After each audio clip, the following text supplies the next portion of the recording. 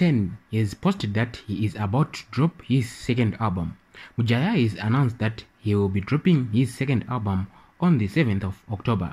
Hi guys, welcome back to our channel. Kindly hit the subscribe button to stay updated. Don't forget to like and share this video.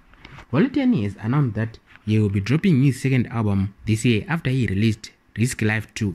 So according to the social media streets, a lot of fans for Saint Floew are not happy about this.